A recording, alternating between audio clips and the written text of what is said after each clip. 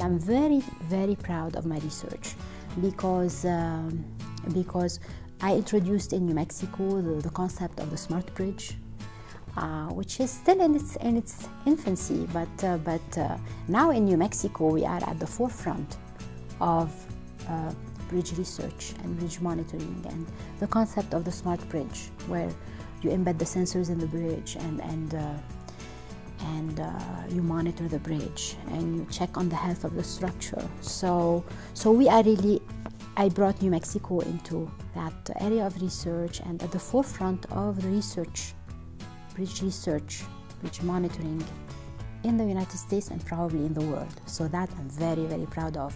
I like both aspects, my teaching, my research there. Can, you can't do one without the other, you really can't.